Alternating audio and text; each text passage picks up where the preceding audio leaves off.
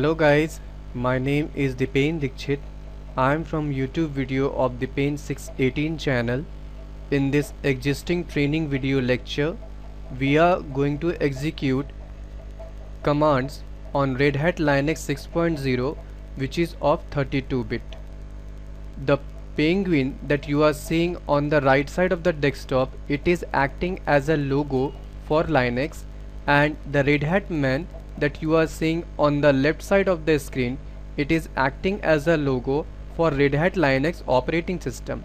So guys in this way also you can differentiate between the Linux and various operating system which are built or created using the kernel of the Linux.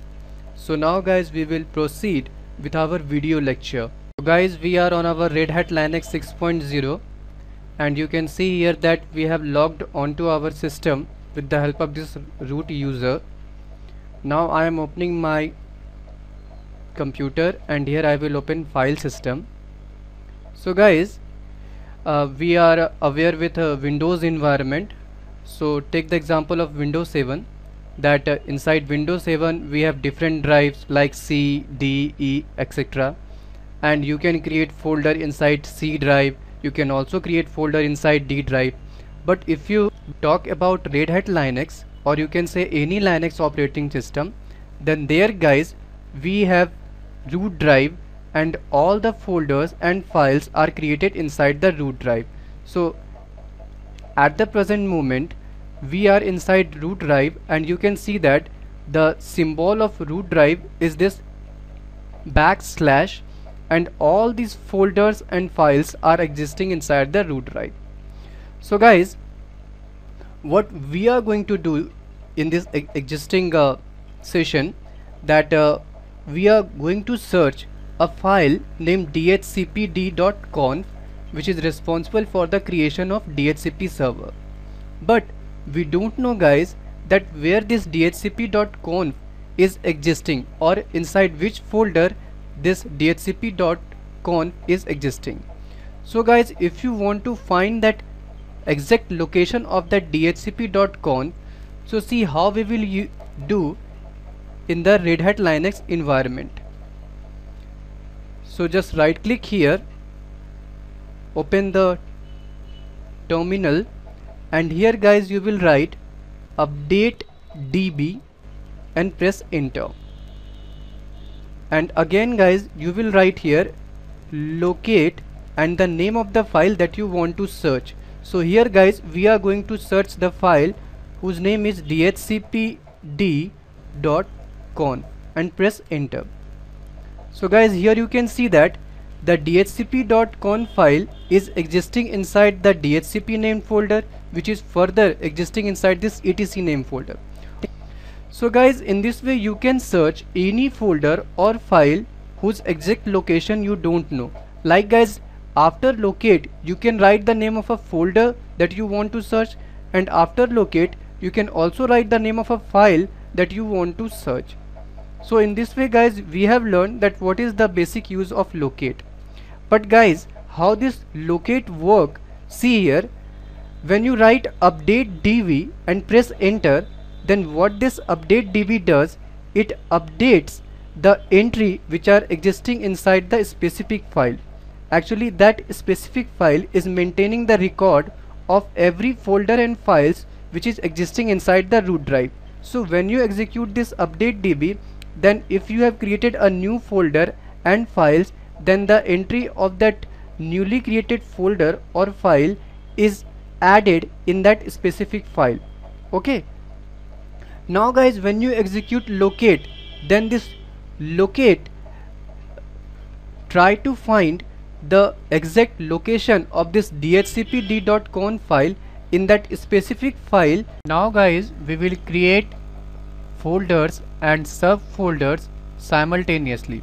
So see guys for creating folders and subfolders simultaneously you will write mkdir minus p.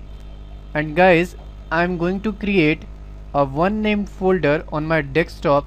And inside this one name folder there will be another folder whose name will be 2 and inside this two name folder there will be another folder whose name will be 3 so in this way guys mkdir minus p is a command with the help of which you can create large number of folders and subfolders simultaneously. So just press enter and guys here on the desktop you can see a folder whose name is 1 and inside this one we have two named folder. And inside this two named folder we have three named folder. Okay? Now guys if you want to remove folders and subfolders simultaneously then for that you will write rmdir and here you will use the same switch. And here you will write 1 slash 2 slash 3 so rmdir minus p is a command with the help of which you can delete one folder and large number of subfolders which are existing inside that folder and press enter. So guys on the desktop now we have no folder whose name is 1 but guys one precaution that you have to uh, remember while executing this rmdir is that this rmdir minus p will work only if this 1 to 3 named folder should be empty. Now guys we have already executed mkdir minus p for creating large number of folders and subfolders.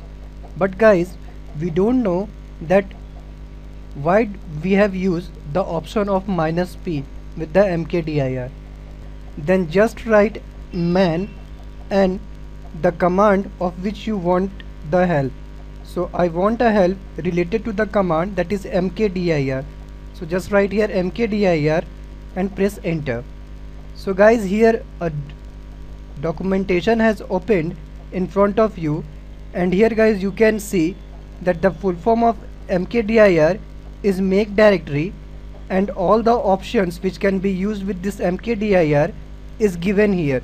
Like minus p that we have used is this one that uh, no error if existing make parent directories as needed. Okay? And guys what is really the work of this mkdir it is also given here that create directories if they do not already exist. And guys after seeing the documentation you will simply write here q. If you want to close this documentation. Now guys we are at the present moment inside the desktop name folder. So if you want to verify this then write pwd and press enter. So you can see that we are now inside this root folder and inside this root folder we have desktop name folder. So whatever the folder and file you will create here it will get created inside this desktop name folder. And guys if you want to know that with the privilege of which user you are executing this pwd or cd command then write who am I and press enter. So you can see that at the present moment you have logged in with the help of root user or you are executing this who am I or pwd with the privilege of this root user. So guys now we will enter inside this etc name folder which is another folder existing inside the root drive. So basically this symbol of this slash that you are seeing it indicates that this etc name folder is existing inside the root drive. And we know the root drive is indicated by the symbol of this backslash. So press enter. And if you write pwd here then you can see that now you are in etc named folder. Now guys if you want to again jump back to this desktop name folder then you will simply write cd and write hyphen. Press enter. So now guys again we are in our previous location or you can say we are in previous folder which is desktop. Now one thing more guys that uh, uh, you are inside any folder which is exist existing inside the root drive and from that specific folder you want to directly jump back in the home directory of the user through which you have logged in or through which you are using the terminal. So for that simply write cd and press enter. So guys we have directly jumped back to the home directory of the user through which you are executing the commands or the or with the privilege of which you are executing the command which is root. So guys if you write here pwd and press enter so you can see that we are now inside the root name folder which is existing inside the root drive now guys we will learn that how to execute more than one commands at the same time.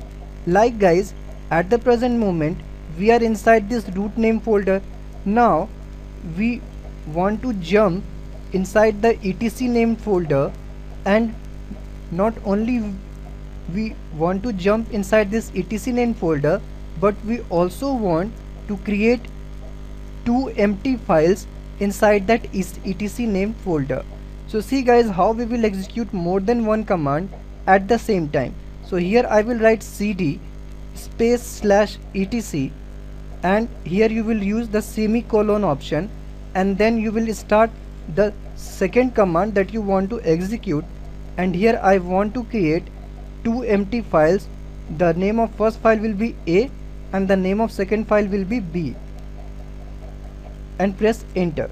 So now guys you can see that I have executed pwd and after the execution of this pwd command you can see that we are inside the etc name folder. And also guys if you open this file system and uh, here is your etc name folder. If I enter inside this etc name folder then here guys you can see the a name file and also guys you will see here the b name file.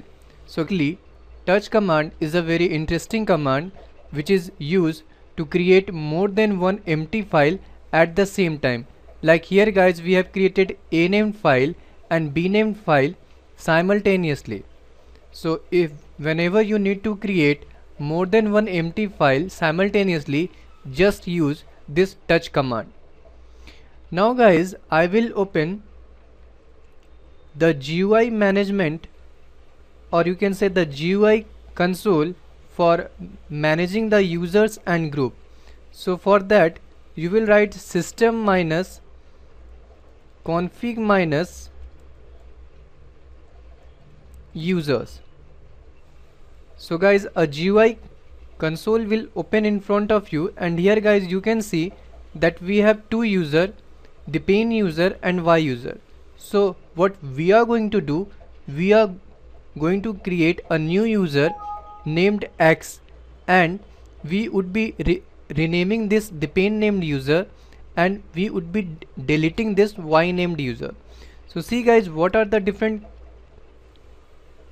commands which is responsible for doing such different jobs. So guys first we will see that how to create user along with the profile. So I am writing here user add minus m and we are going to create a new user whose name should be x. So guys we have used here the, the m option. So actually this m option what it does is that whenever user will be created the home folder of user will also get, created with the help of this minus m command. Now guys put a semicolon. So here you will write user del minus r and the name of the user that you want to delete. So here guys we are going to delete the y named user. Now guys again put semicolon and now we will rename the user whose name is Dipen. So guys for renaming any user account you will write user mode minus L and the name of the user whose name you want to change. And here guys we have pain so this old name should be given here. Here you will write first the new name so the new name that I want to give to this Dipen is Surya. Okay? So Su Surya is the new name of this Dipen named user. So guys Dipen is the old name and Surya is the new name. So in this way guys you will see that how to execute more than one commands simultaneously and press enter so guys now we will verify that all this work has been done or not. So guys just write system config user again and press enter. So here guys you can see that we have this Surya and uh, we have a new account whose name is X and you are not seeing the Y named account now guys as you can see that we are on the desktop. It means that uh, whatever the folder and file we will create it will be created on the desktop here. So as uh, you can see here that I have created one folder named 1 and inside this one we have two named folder and inside this two we have three named folder. Okay? So guys see what I mean to say? If you want to enter inside this one named folder then we write cd1 so we enter inside this one named folder. If you again write cd2 then you enter inside this two name folder. Here you can see that we are inside two name folder. If you want to enter inside three name folder then just press cd3 okay? So this is one way of entering inside this three, three name folder. But again guys if you want to directly enter inside the three name folder then there is also another step that write directly here that cd1 slash 2 slash 3 so you will directly reach inside this three named folder. So guys this is the way through which you enter inside the folder. But we have not learned that how to come outside the folder. Like guys we are at the present moment inside three named folder. It means whatever the file and folder you will create here it will be created inside the three named folder but guys if I want to jump back to the two named folder then I will write cd dot dot and press enter. Again guys if you write cd dot dot then you are inside the one named folder. But guys see here that in order to jump from 3 to 1 we have to execute this cd dot dot command two times. But if you want to jump back from this 3 to 1 by executing a single command then see how we will do it. So again guys we will go back into then we will go back inside 3 name folder. And here guys you will write a single statement dot dot in order to come back to the 2 name folder. Then guys give the backward slash and again give dot dot if you want to come back to the one name folder and press enter. So see guys we have directly jumped back from this three name folder to the one name folder. In this way guys as much folder you you want to come back just go on adding this backslash and this dot dot. So now guys at the present moment we have logged on to our system with the help of root user. As you can see here if I write who am I then here you can see the name of the root user. Now guys we already have created a new user whose name is X. So guys if you again want to change or you, you, you want to log in with the help of that X user so you simply write su and the name of the user through which you want to log in. So write X. So now guys you have logged in with the help of X user if you write again here who am I and press enter then here guys the X user is shown. Now guys whatever the command that you will execute it will be executed only with the privilege of X user.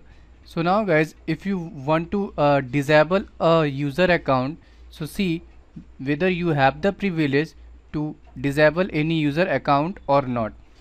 So usermod minus capital L and I want to disable a account whose name is Surya and press enter. So guys here you can see an error message that the X user has not the right to disable any user account. Now guys you will again log into this terminal with the help of root user. So for that you will again write su and you will write here name of the root and press enter. So here you will give the password of the root user. So again guys if you write here who am I and press enter so here you are seeing the root user. So now guys whatever the command that you will execute it will get executed with the help of or you can say with the privilege of that root user so now see guys that whether you have the right to disable or enable any user account. So I am again disabling that.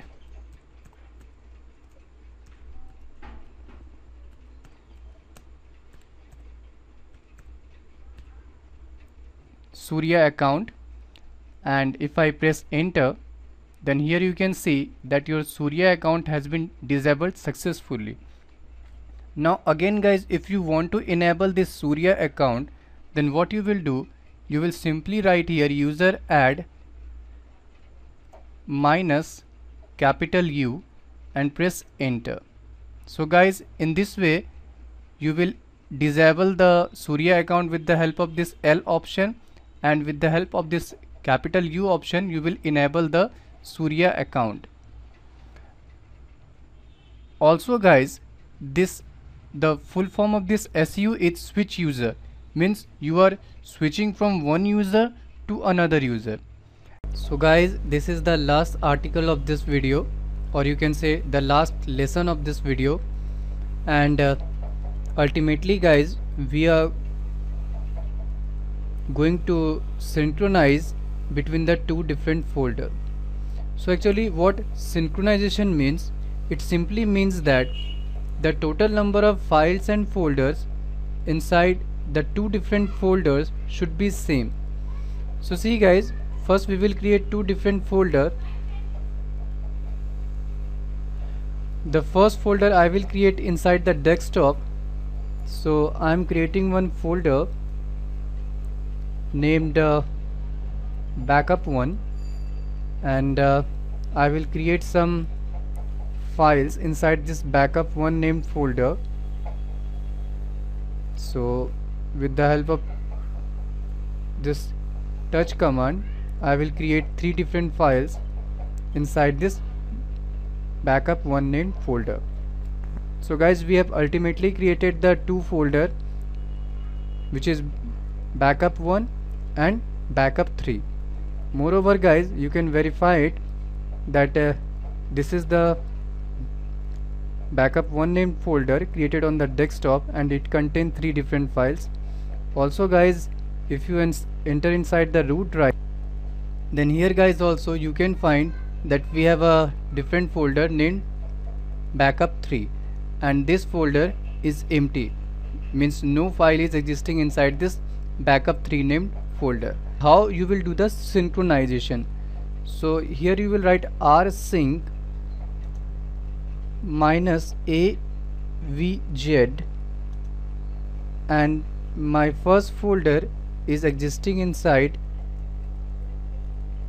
root desktop backup 1 and the second folder that I have created it is existing inside the root drive with the name of backup 3 so guys this is my first folder and this is my second folder so this is actually the command and press enter. So guys you can see that sending incremental file list and you can see that from this backup one named folder a is transferred b is transferred c is transferred. Now guys we will verify that whether the synchronization has been done successfully or not.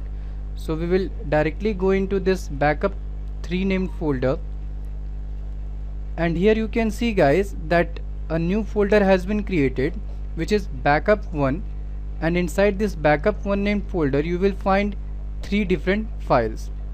So in this way guys you have done the synchronization phenomena. Now guys I will again create one different file inside this backup one named folder like uh, I am creating a dname file.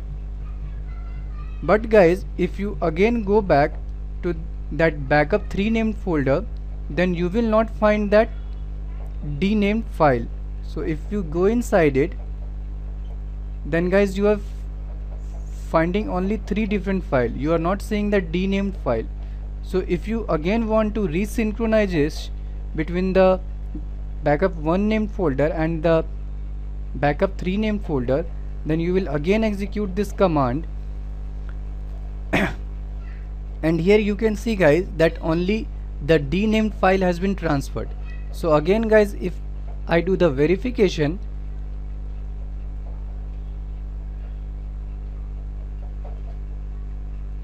so here you can see that the dname file is visible. Hello friends.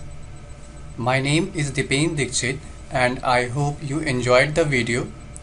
So friends if you like my video then please click like and if you dislike my video then please click dislike don't forget to subscribe my video channel if you want to view the second section of this video and also friends very soon I would be creating more videos on Red Hat Linux 6.0 related with uh, various subjects like uh, Yum server, mail server, Squid server, Kickstart server and etc.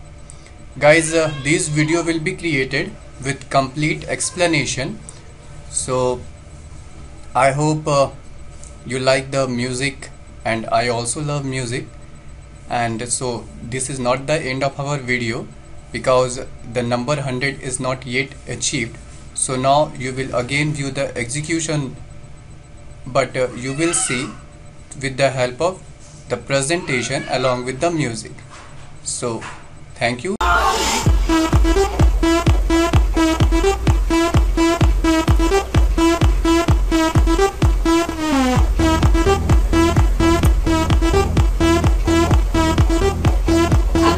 cash when it drops like this. Oh.